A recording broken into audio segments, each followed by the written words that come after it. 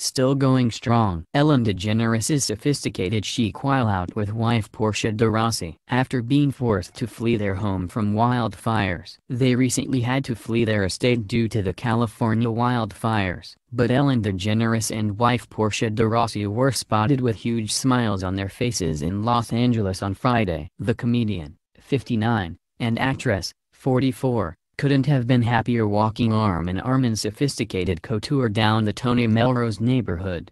Daring to impress, the TV host cut a dapper figure in a black Oxford which she rolled at the sleeves. She rocked a pair of trendy black leggings that tucked into sporty high tops as she wrapped her right arm around her beau. Her trademark blonde hair was kept close cropped and parted to the side as she donned a pair of retro shades. The Arrested Development star commanded attention in the stunning high-fashion editorial look. Her monochromatic pilgrim shirt begged to be seen as she tucked it into gray flannel pleated shorts. Portia's gorgeous gams were on full display as the black leggings wrapped her enviable figure tightly. The couple have been dating since 2005 and were married at their Beverly Hills home in August 2008. They was among the tens of thousands of people who have had to evacuate their homes due to devastating Southern California wildfires. Ellen had taken to social media to say the wildfire, which has charred more than 234,000 acres and is only 20% contained, was threatening her property.